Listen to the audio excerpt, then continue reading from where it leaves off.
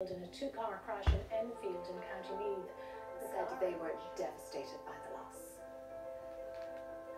Mummy said that she loved that dress. She was buried in that dress because she loved it. She was just a little angel lad. The amount of mass cards, just, there must be three or four thousand mass cards. And they're still coming.